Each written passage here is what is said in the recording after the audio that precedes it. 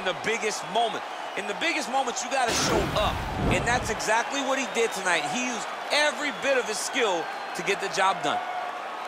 Ladies and gentlemen, referee Yves Lavigne has called a stop to this contest at 1 minute, 57 seconds of the very first round.